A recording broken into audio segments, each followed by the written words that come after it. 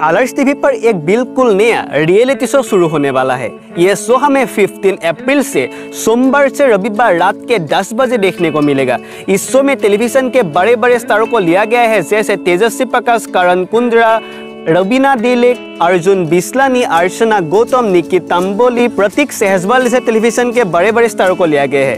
खबर ये निकल गई है इस शो में नागिन फ्रेंचाइजी की फ़िल्म सुधा संदन भी नज़र आने वाली है। तो उन्होंने स्टार्स को ज्वाइन भी कर लिया है। तो इनको इस शो में देखने के लिए आप कितना ज़्यादा एक्साइटेड है कमेंट्स में बताना मत भूलिएगा।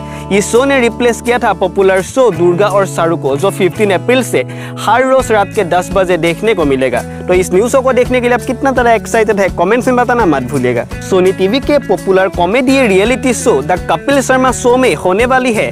किसी का भाई, किसी की जान की प्रमोशन सोनी टीवी के शो कपिल शर्मा शो को फैंस काफ़ी ज़्यादा पसंद करते हैं। इस शो में सलमान खान की न्यू फ़िल्म किसी का भाई किसी की जान का प्रमोशन करने के लिए सारे स्टार्स आने वाली है। तो इस शो में उनको देखने के लिए आप कितना ज़्यादा एक्साइटेड है कमेंट्स में बताना, मत भूलिएगा। आतारंगी टीवी पर एक बिल्कुल नया शो शुरू होने वाला है। शो का नाम होने वाला है सुर्ख। इस शो में नज़र आने वाली है मनीष रायसिंघन, मोनिका खन्ना एंड शरद मल्होत्रा। इस शो में Sharad Malhotra main main lead के तौर पर देखने को मिलेगा।